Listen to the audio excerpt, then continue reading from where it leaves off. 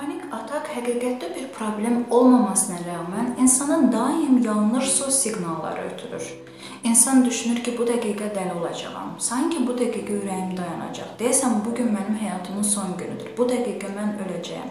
Bu kimi xoşa gəlməz düşüncələr bizim beynimizə daxil olur və əlbəttə ki, bədənimiz buna reaksiya verməlidir. O zaman başlayır bədəndə titrəmə, tərləmə, əl-ayaqda uyuşma, ürəyin tez-tez döyünməsi, təngə nəfəslik və s. kimi xoşa gəlməz hallar yaşayırıq.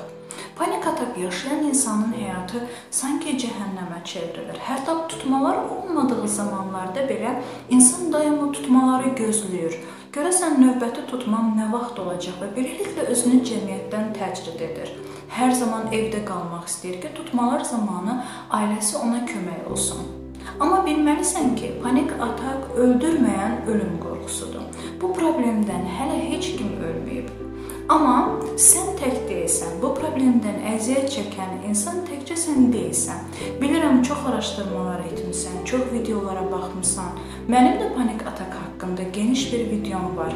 Amma bir gerçəklik var ki, bu zaman təkcə videolara baxmaq insana kömək etmir. O videolar sadəcə səni maarifləndirmək üçündür.